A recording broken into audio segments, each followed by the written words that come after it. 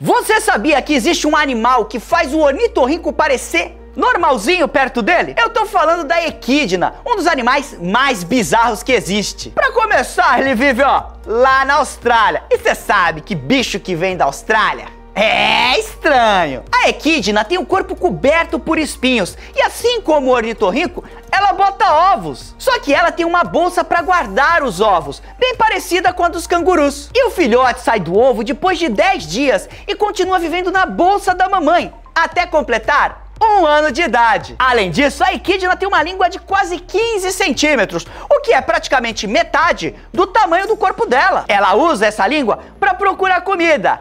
Aliás, ela ama comer, sabe o quê? Formigas e cupins. Bem parecido com quem, com quem, com quem? Com os tamanduás. E assim como eles, a equidna não tem dentes. É bangalinha. Equidna, é ou não é bizarrão?